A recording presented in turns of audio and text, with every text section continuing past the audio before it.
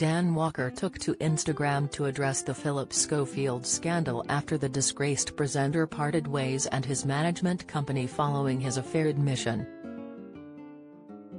Phillip admitted to having a brief affair with a younger colleague, who was 20 when their sexual relationship started, and confirmed nobody knew including his former co-host Holly Willoughby who he apologized to during an interview with BBC's Amol Rajan.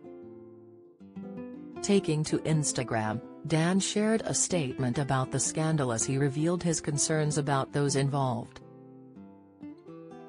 He wrote, I really hope the issues at this morning are investigated and resolved. Hope that the individuals involved get the help they need and the show stays on air. I also hope the relentless hounding from some elements of the media stops. People are clearly on the edge. During his BBC interview, Phillip explained why he wanted to speak out. I have to. Because there is an innocent person here, who didn't do anything wrong. Who is vulnerable and probably feels like I do, he said. Later in the interview, Phillip addressed his mental health, do you want me to die? Because that is where I am. I have lost everything. And compared himself to Caroline Flack, a TV presenter who took her own life in 2020.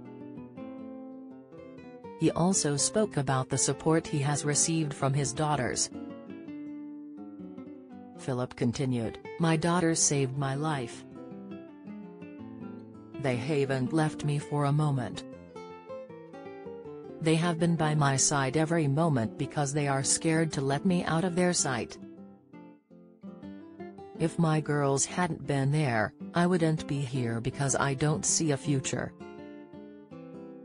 Elsewhere, in the interview, the former ITV presenter took the opportunity to apologize to everyone he lied to and the man he had an affair with.